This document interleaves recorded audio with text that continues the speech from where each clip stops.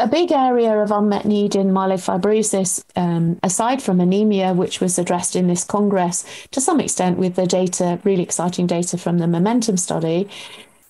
another major area of unmet need is the thrombocytopenic patient. And recently we've seen the FDA approve pacritinib or Vonjo uh, for patients with um, thrombocytopenia, specifically platelets less than 50. So, but there were some very interesting data presented at the EHA meeting concerning the relative efficacy and also safety of pacritinib against ruxolitinib. And there was also um, an appraisal and systematic review, actually also comparing pacritinib with fedratinib in the low platelet setting. So as this is an area of challenging of challenge clinically, I found this data very compelling. So for pacritinib, there was a comparison of the safety and outcomes for patients in the PERSIST-2 trial, which was specifically for patients with platelets less than 100, where some patients on the control arm were treated with ruxolitinib.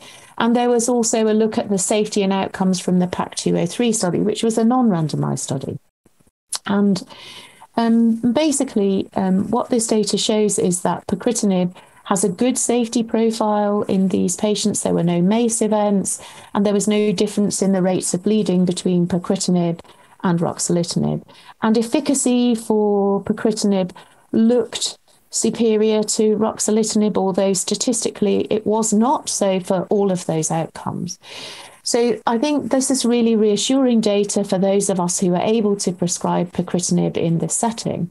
Interestingly, just to reference that work that was um, uh, commissioned, I think, by uh, Bristol Myers Squibb to look at uh, fedratinib in, in this setting.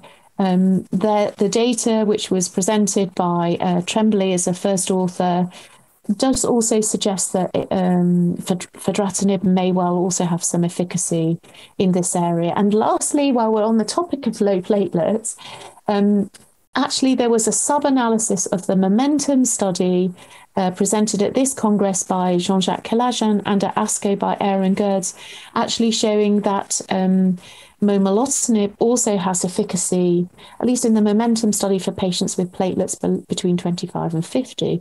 And in the Simplify 2 study, which was the second line study with momelotinib, we didn't have a lower bound for platelet count for patients to enter that study. So actually, there's emerging data supporting the use of many of these agents uh, for thrombocytopenic patients, but the most robust data probably exists at the present time for pacritinib, which fits with its recent approval.